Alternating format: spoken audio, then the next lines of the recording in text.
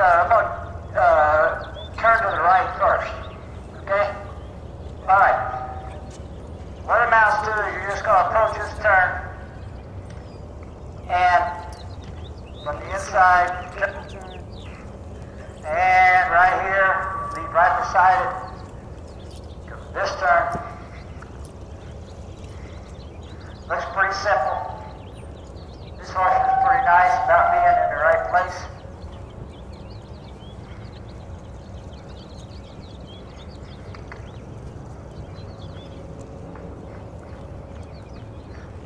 Slow down a little bit as you approach the turn.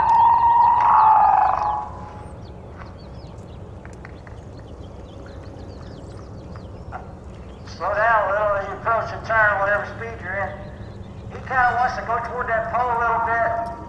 Here's the thing you're teaching is technique on the horse.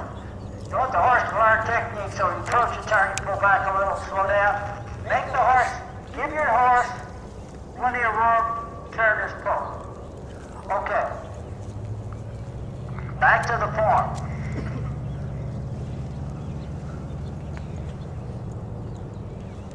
For this exercise, I like to stay about this far away, right when I approach this turn. Right before I start the turn, I want to stay this far away. As I'm turning this arc, each step is going to decrease the distance between him and the pole. To when I make the last step, I want to leave right beside that pole. Okay, I'm this far away here. When I Get here, I'm a, I'm a little closer than I was there. When I get here, I'm a little closer yet, but when I'm right here, I want to leave right beside this pole. Does that make sense? Okay. What we're trying to do, some people describe it as a pocket, which is a good analogy. We want to keep this horse, give this horse room to turn, so we want to create a pocket for this horse to turn. Our objective with this turn is, and I like to work on turn from backwards. What's my end result? What do I want to achieve? Where do I want this horse to be whenever I'm leaving this turn? Which is the object of what I'm trying to do. Okay, where I want this horse to leave this turn is right beside the bow. Let me get over here. I want my horse to leave the turn, I want to be straight for the next turn where I am fairly close to it. That's what I want. So how am I going to achieve that? So I, I, approach it backwards. Okay, to get there, I need to give my horse a little room here, a little more there, keep the momentum up. So that's how I got, that's how I arrived at that. So, as I approach this turn, I also want a horse, I want my horse to slow down because I want them to learn to rate a little bit there, but I don't want them to rate too much on their own. That's why I want them to pull back. I want them to run right up into that turn until I ask them to back off and slow down. When I ask them to back off and slow down, and they do, then I ease up on the rein pressure, try to maintain that speed that they slowed down to. I'm too close right there. And finish that turn, and then first step out of turn, I want to, when I'm, when my shoulders are square,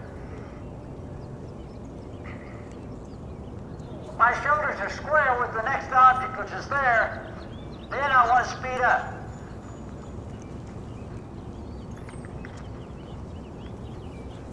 Okay, I'm not going to talk for just a minute. I'm just going to work on this horse what I want.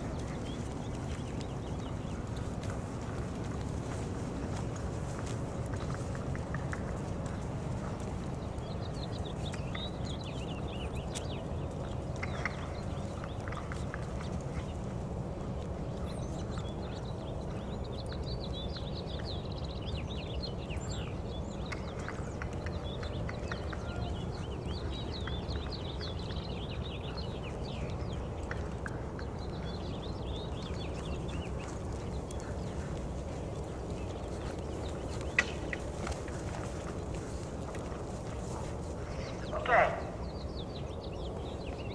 The horse knows buddy's over here. And that's kind of what he's thinking I'm right here. So, what I'm doing as I'm turning this turn is kind of want to drift out of the turn a little bit. When they do that, use your outside leg and encourage them to stay closer.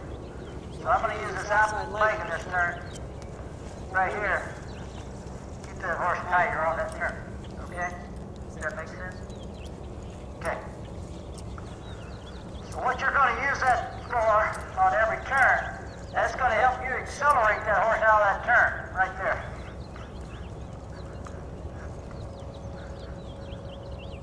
Slow down a little going into the turn and accelerate leaving it.